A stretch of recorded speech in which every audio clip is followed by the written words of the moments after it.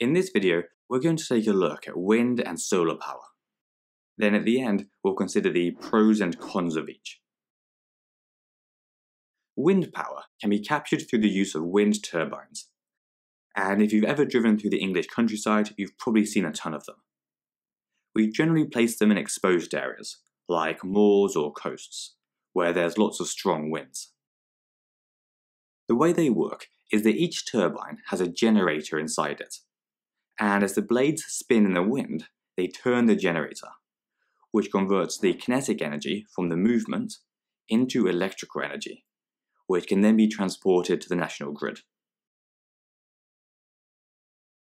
Solar power, on the other hand, is generated by solar cells, which are often in the form of solar panels.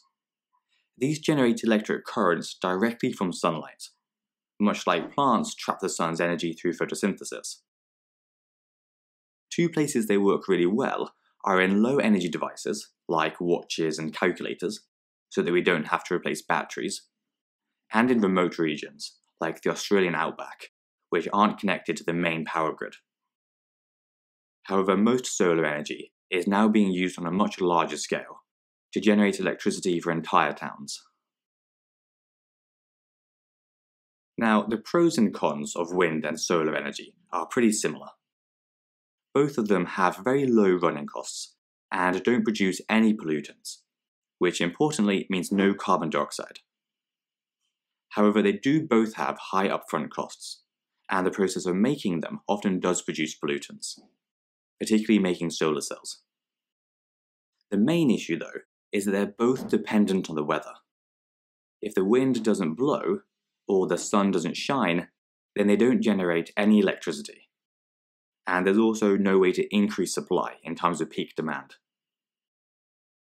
Another problem is that they both take up a lot of space, especially because you need so many of them to produce a serious amount of power and some people complain that wind turbines don't look very nice and are too noisy.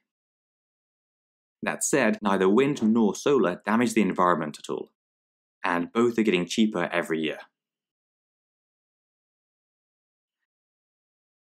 Anyway, that's all for now. So cheers for watching, and we'll see you next time.